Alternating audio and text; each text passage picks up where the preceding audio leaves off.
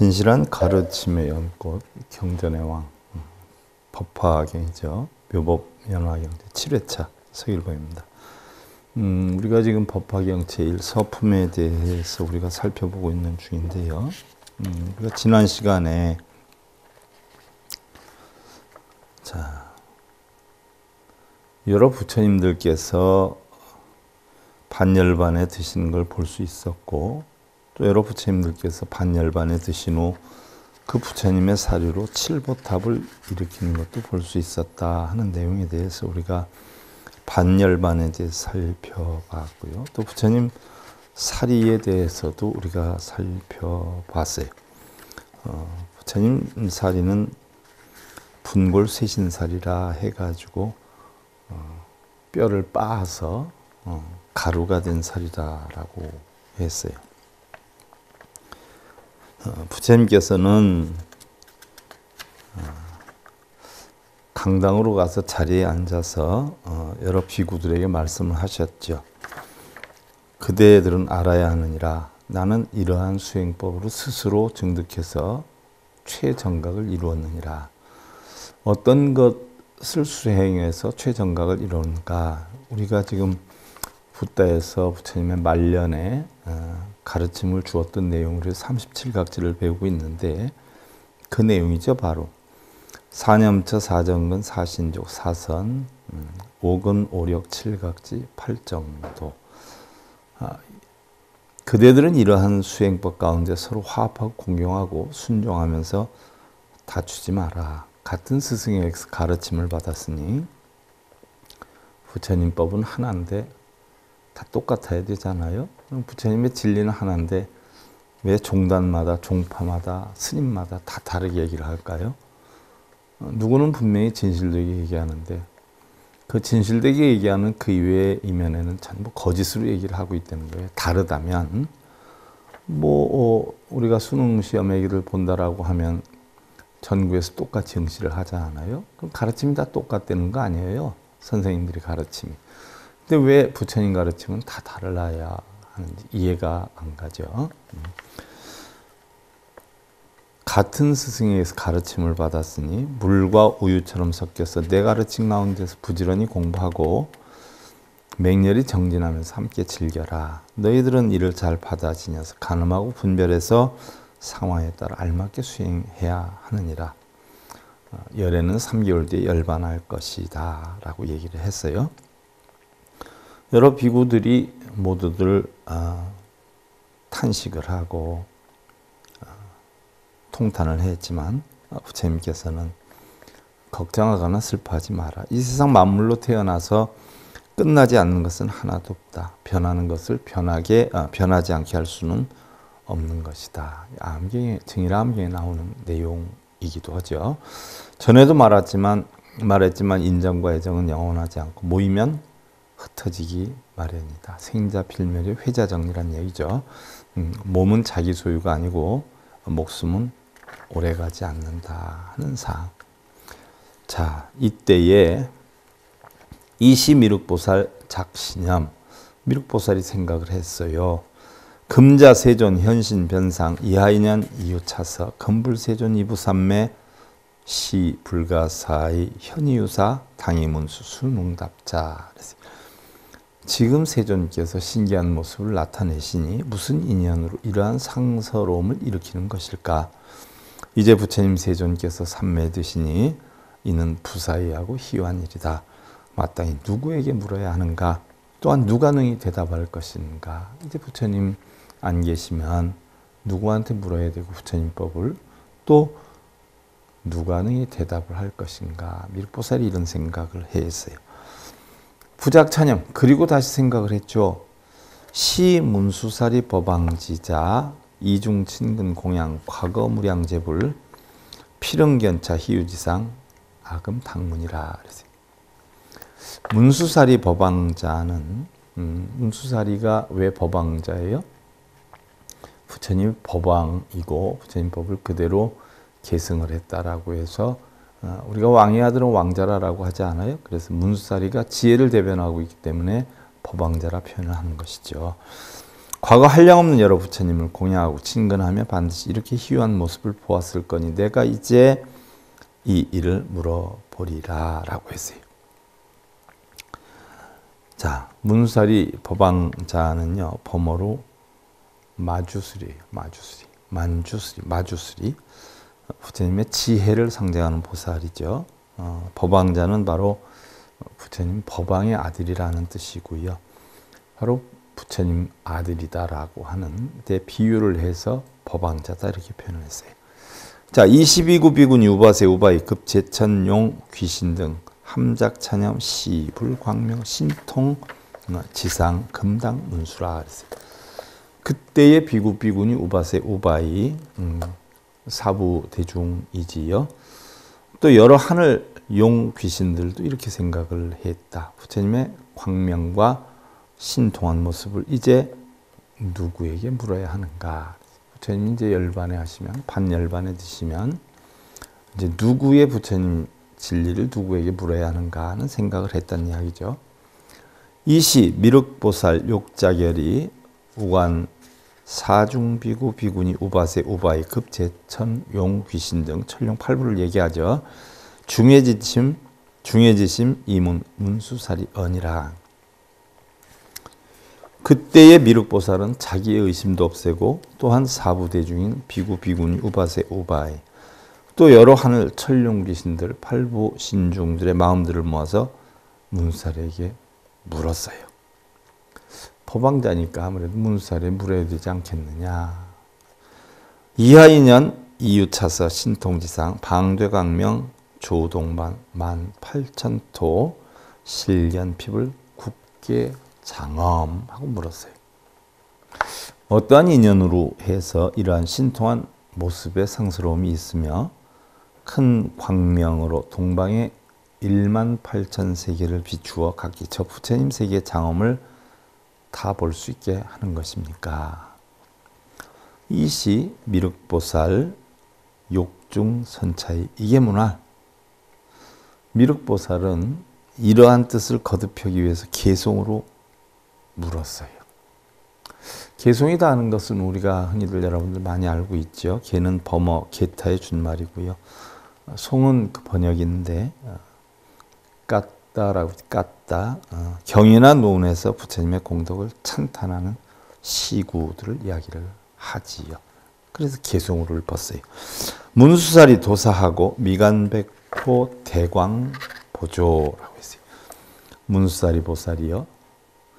도사께서는 무슨 일로 양미간의 백호상에 큰 광명을 비추시며 도사 무슨 뭐 음, 우리가 일반적으로 도사하면 음, 뭐 눈썹도 해서 길고 머리 이렇게 해서 이렇게 내려오고 띠 묶고 지팡이 들고 이런 걸 도사로 알고 있는데 스승이죠. 음, 지혜를 이끌어준 스승. 인도할 도자의 스승사자. 우만다라 만수사와 전단향풍 열가 중심이라 그랬어요. 만다라 꽃, 만수사 꽃, 비 오듯이 내리시며 전단향의 바람으로 기쁜 마음 주십니다. 이시인연 지계엄정 2차 세계 육종 진동 이와 같은 인연으로 땅은 모두 청정하며 이와 같이 세계마다 육종으로 진동하니 자 땅이 모두 청정하다라고 하니까 일반 사람들이 땅이다라고 하면 이 일반적인 우리가 걸어 다니는 땅으로 알고 있는 분들이 많아요. 음, 이 땅을 뜻하는 건 우리 마음의 땅을 뜻해요. 주님의 가르침 진리로 인해서 마음이 청정해졌기 때문에 바로 땅은 모두 청정하다. 내 마음엔 탐진치 걱정 근심 번뇌가 하나도 없는 청정한 땅이다. 이렇게 표현한 것이죠. 이외, 이와 같이 세계마다 육종으로 진동하니 그랬어요. 육종으로 진동한다.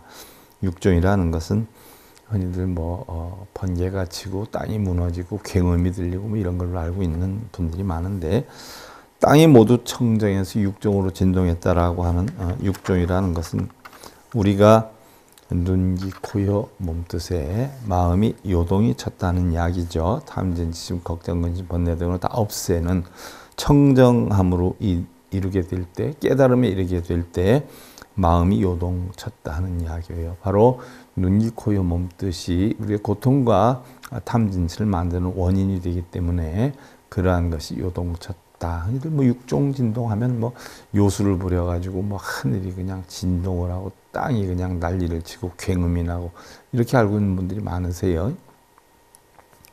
땅이 마음이니까 마음이 요동친 거죠. 시사부중 함계환이 신의쾌 등미중유라 그랬어요. 이러한 때 사부대중이 모두 각기 환희해서 몸과 뜻이 쾌연하고 미증유를 얻나이다. 미간광명 조동방 만팔천토 개여금색이라 미간으로 논 광명 동방으로 멀리 비쳐서 1만 8천 나라마다 근빛처럼 찬란하니 자 광명을 비쳤다. 우리가 광명이다 하는 것은 음, 바로 뭘 뜻해요? 뭘 뜻할까요?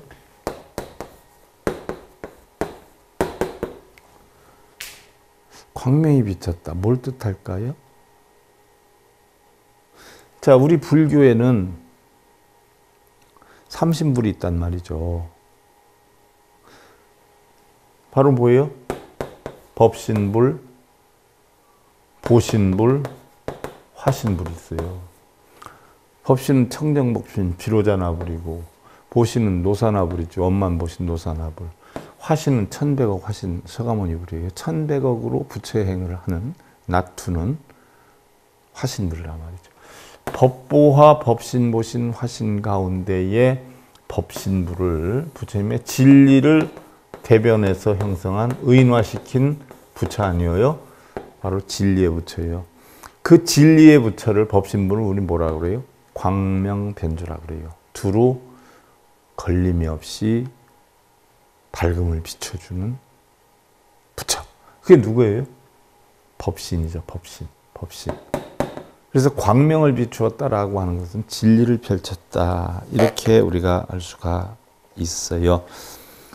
종합이욕 상지유정 제세계 중 육도 중생이라 아래로는 아비지옥에서 위로는 아가니타천 그의 모든 세계 중에 육도윤의 중생들이 그랬어요.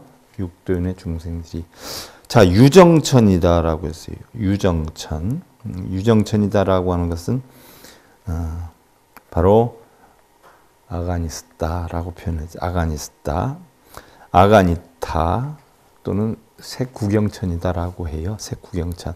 색구경천이면 바로 우리가 욕계 육천이 있단 말이죠. 욕계의 6천이 있어요. 새끼에 18천이 있단 말이죠. 무새끼에 4천이 있어요. 바로 탐, 진, 치의 세계다라고 해요. 삼유다라고 표현을 하고 또 삼계라고 표현을 해요. 그래서 삼계 화택이라고 한단 말이죠. 그래서 우리는 탐내고 성내고 어리석어서 바로 삼계 화택에 산다라고 하는데 흔히들 뭐 우리가 욕계, 새끼, 무새끼 하면 하늘에 있는 줄 알아요. 우리 마음의 세계예요. 음, 마음의 세계. 그래서 화엄경도 이제 머지않아 여러분들 설해드리겠지만 화엄경을 설한 데가 어디냐면 욕계 육천에서 설했어요. 욕계 육천에서.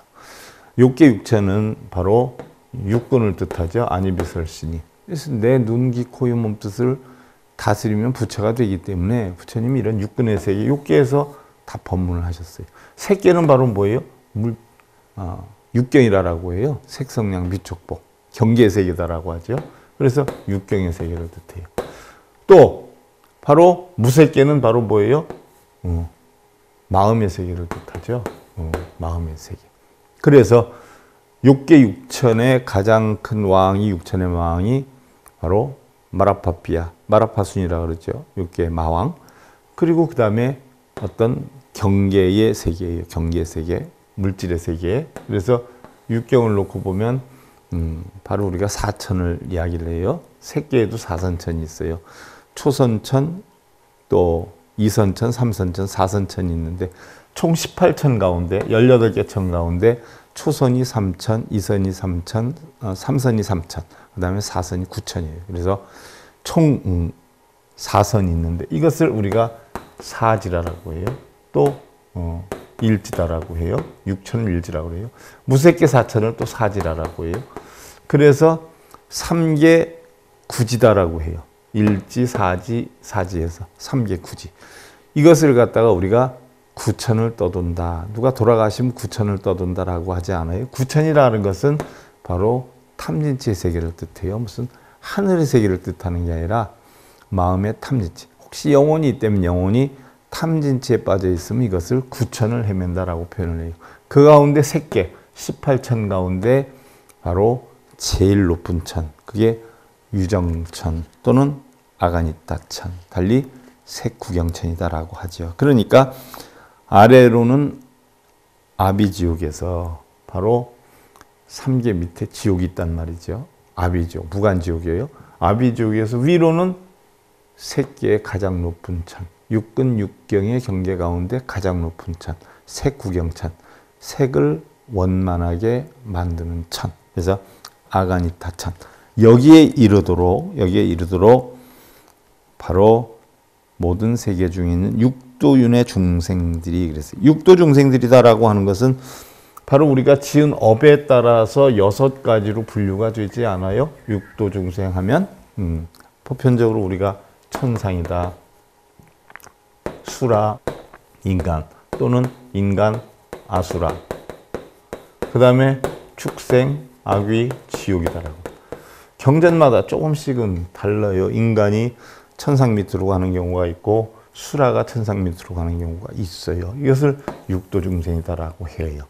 근데 우리가 오도 중생, 우치라라고 표현을 하는데 오도 중생 할 때는 뭐예요? 수라를 빼거든요. 어, 수라를 빼고 오도 중생이다 이렇게 표현을 해요. 근데 일반적으로 육도 중생이다라고 하면 천상, 수라, 인간, 축생하기, 지옥 때는 또는 천상, 어, 수라, 아, 천상, 인간, 수라, 축생하기, 지옥 이렇게 표현을 하기도 해요.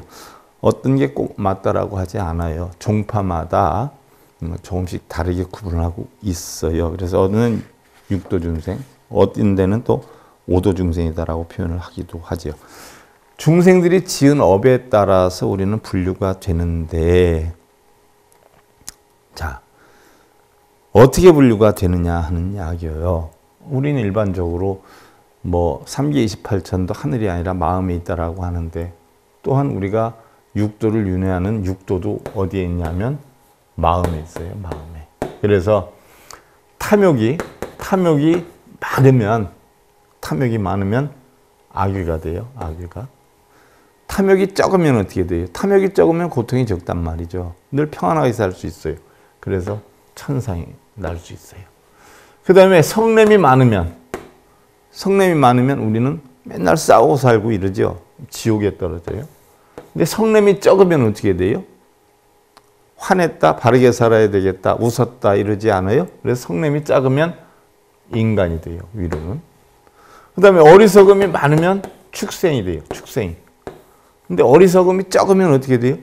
수라가 돼요. 그러니까 결국 육도윤회도 마음으로 만드는 탐진치 세계를 육도윤회라고 하지 우리가 죽어서 뭐 소가 되니 돼지가 되니 이런 걸 뜻하는 건 아니에요.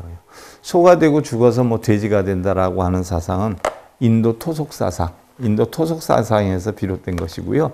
우리 불교에서는 육도 윤회라고 하는 건 받아들였지만 결국 마음에서 비롯되는 것이고 모르는 분들은 우리 불교를 윤회와 업자상이라 이렇게 표현을 해요. 모르는 분들, 무지한 분들이 하고 있는 거예요. 우리 불교 사상은 윤회와 업사상이 아니에요. 바로 공과 연기 사상이에요. 한마디로 얘기하면 연기 사상이에요. 연기는 공하니까 이루어져요. 공하니까 또 연기가 이루어지거든요. 그래서 공, 연기 또는 마음 다스리는 법에 서 심법 이렇게 표현해요. 하나를 구체적으로 딱 꼬집어서 얘기하면 우리 불교는 연기법 사상이지 윤회업 사상이 아니에요. 윤회업도 뭐 일종의 연기법 중에 하나에 포함이 되는 것이. 근데 인도 토속 사상이 뭐 우리가 죽어서 소로 태어나고 뭐 어, 돼지로 태어나고 이렇게 돼 있지. 우리 불교에서는 결국 마음의 변화예요. 마음의 변화. 탐욕이 많으면 뭐, 뭐, 아기가 되고, 적으면 천상에 나고, 성냄이 많으면 지옥에 떨어지고, 조금 인간이 되고, 어리석음이 많으면, 음? 축생이 되고, 수라가 되는 이치와 같이 탐진치의 세계, 마음의 세계를 뜻해요. 모르는 분들은 뭐, 이 다음에 극락 간다고. 이거 벗어나면 극락으로 가죠. 이거 벗어나면. 이거 벗어나면 뭐가 돼요? 십법계 사상으로 얘기하면 성문이 돼요. 그냥 영각이 되고 보살이 되죠. 그 다음에 불이 돼요. 이 십법계 사상인데 결국 육도윤회를 벗어나면 우리가 성문이 돼요. 성문은 사성제 8 정도를 들어서 깨친 자. 연각은 12년법을 깨친 자예요. 그런데 성문과 연각은 자기의 깨우침을 이루고 살지만 이러한 깨우침을 가지고 바로 타력, 남을 남에게 이타행을 하고 살면 이게 보살이에요. 그런데 냉정히 보면 성문, 연각, 보살도 부처가 되기 위한 하나의 방편이다라고 했어요. 그럼 냉정히 보면 부처가 되려면 육도인으로부터 없애야 되겠죠. 육도인을 뭘로 없앤다라고 했어요? 탐진치를 없애면 육도인회가 없어져요. 탐진치를 뭐로 없애요? 개정을 없앤단 말이죠. 개정에. 그리고 눈, 귀, 고여, 몸뜻에 어? 육군에 대한 우리 육적이라 여섯 도적이라고 표현하잖아요. 그것을 고치는 방법은 바로 육바라밀이지 않아요. 그러니까 바로 마음의 세계를 뜻해요. 그래서 아래로는 지옥에서부터 위로는 유정천, 음, 아가니타천, 색구경천이다라고 하죠. 이게 18층 나오는데 가장 높은 천까지 어, 육도윤의 중생들이 생사소치 선악어변 수보호주 어차실견이라 나고 죽어서 가는 것과 선악들의 업과 인연 좋고 나쁨 받는 과보 이곳에서 모두 보고 우도재불 성주사자 연설경전 미묘제일 지금 미륵보살이 개송을 하고 있는 거예요. 다시 보니 모든 부처 성주이신 사자들이 연설하는 그 경전은 미묘함이 제일이며 자 법화경을 이야기를 하는 거죠. 기성청정 추리연음 그 음성이 부, 어, 청정하고 부드러운 말씀으로 교제보살 무수억만 수도 없는 여러억만 보살들을 교화하며 법화경이 수 없는 보살들을 교화를 한다는 거예요. 음, 깨달음을 이룰 수 있도록 이끈다는 얘기죠. 범음신묘 영인낭문 과거세계 강설정법이라 법음들이 깊고 묘해 법화경의 내용들이 깊고 묘하다는 얘기죠. 듣는 사람 기뻐하고 각각 여러 세계에서 바른 법을 설하시니 바른 법이다라고 하는 것은 여러분들 정법, 정법 흔히 표현을 해요. 어, 정법, 정법. 어, 정법이다라고 하는 것은 팔 정도의 정자를 써요. 그래서 법자를 쓰는데 결국 정법은 뭐예요? 팔 정도의 수순한 법이에요. 부처님 열반경에서 마지막으로 법문하실 때 수발다라 장자가 밖에 찾아와가지고 부처님을 뵙고 싶습니다라고 하니까 안 하니 반대를 했죠. 부처님 지금 열반에 드시기 전인데 힘드셔서 안 됩니다라고 했더니 자기가 얼마나 먼 길을 걸어왔는데 부처님 배우려고 좀 만나게 좀 해달라라고 했을 때 밖에 시끄러우니까 부처님이 무슨 일이냐 아난이 묻지요. 아난이 사실대로 대답을 해요. 그러니까 바로 아난에게 드리도록 해라라고 했어요. 그래서 결국 들여서 수발다라 장자 그때 100살이었어요. 부처님 80살이었고요. 부처님께 일을 갖춰서 제가 이것을 궁금해서 해결하지 않으면 아니 될 것 같아서 부처님께 질문을 하러 일부러 이 먼 길을 찾아왔습니다. 뭔지 얘기해라. 자, 그 당시에 종파가 수도 없이 많았죠. 굉장히 많았어요. 지금 뭐 우리나라 불교에 종파가 한 370개 종파가 되지 않아요? 굉장히 종파가 많았는데 수발다라 장작을 해요. 바라문이었단 말이죠.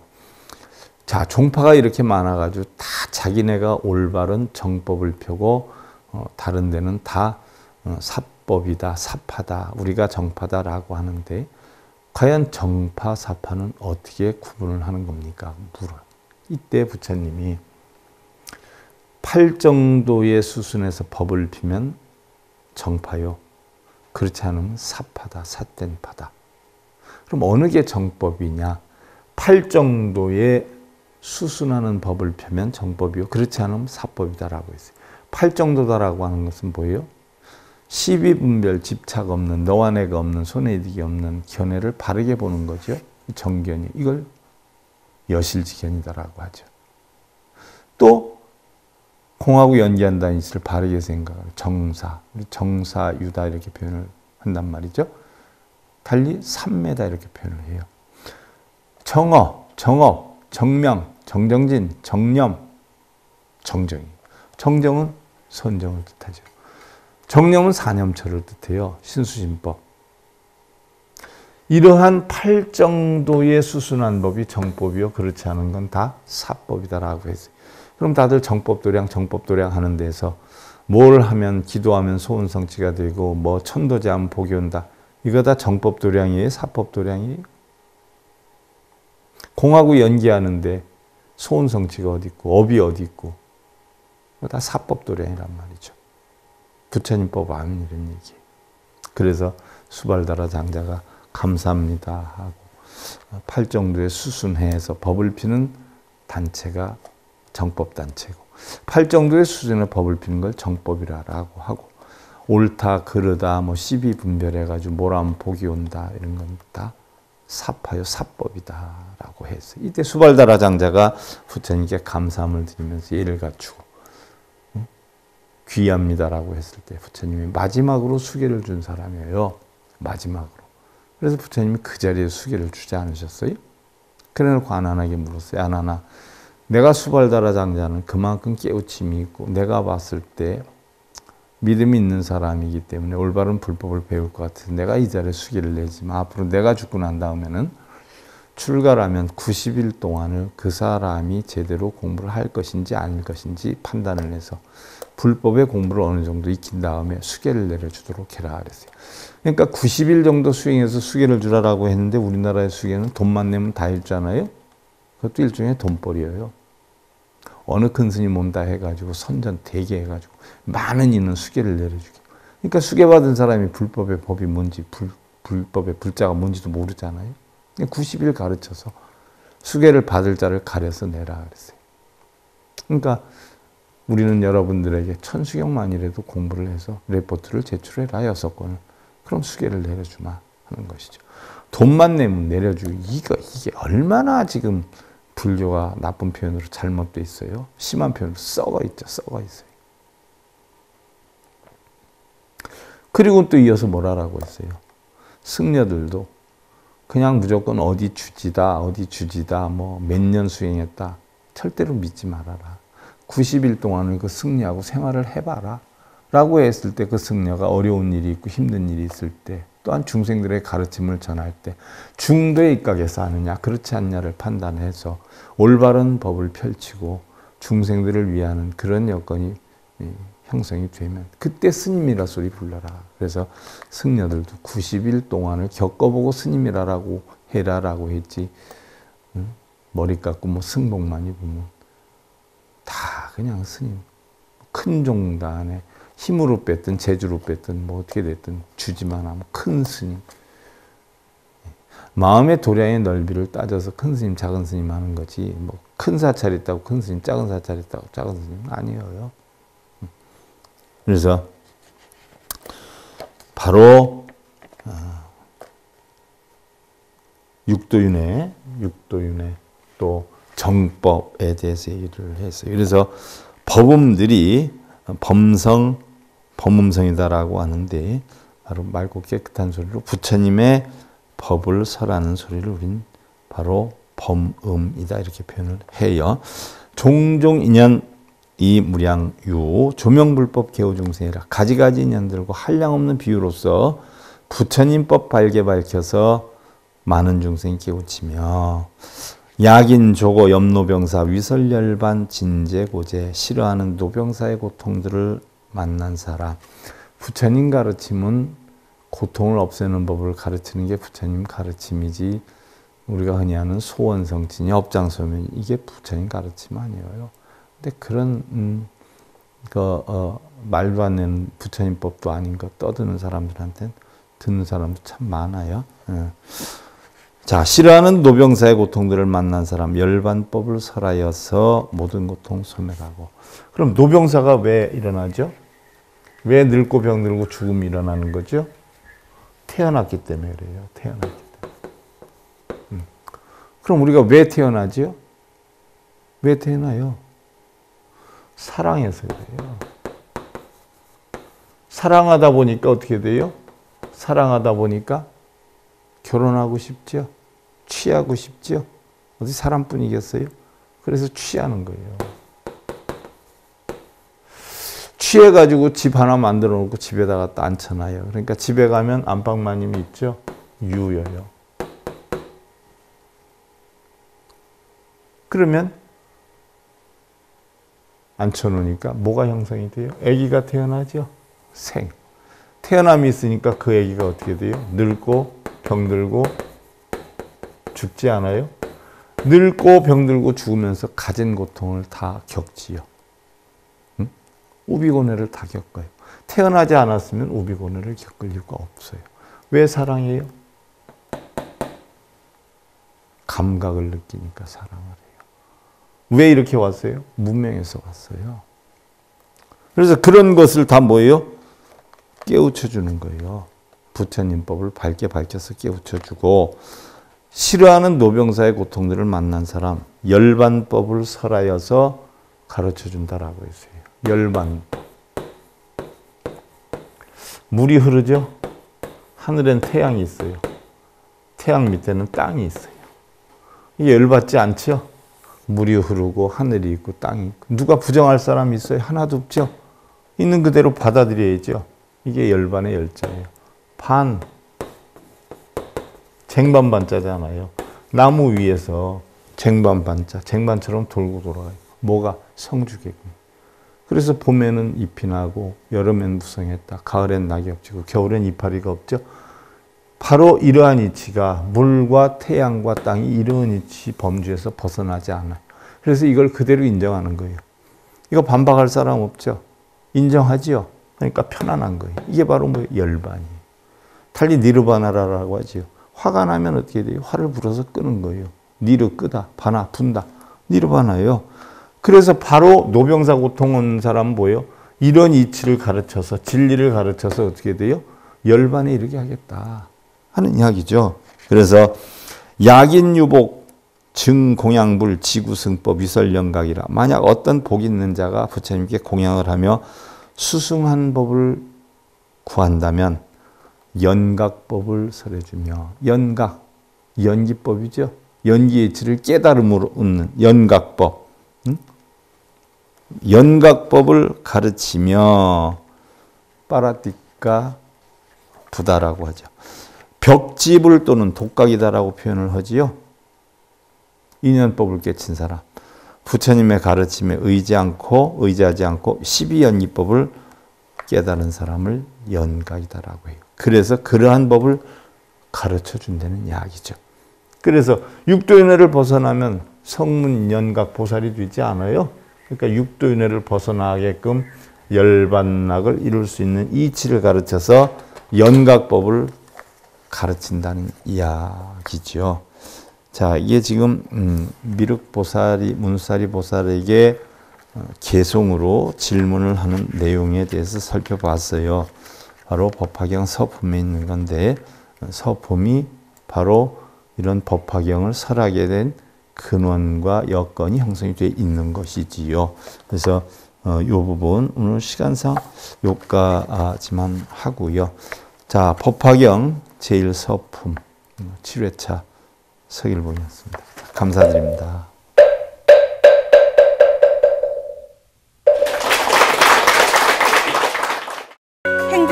가는 징검다리에 서길봉 스님이 여러분들을 초대합니다. SIB 불교교육대학에서는 더 듣다. 생활 속의 천수경.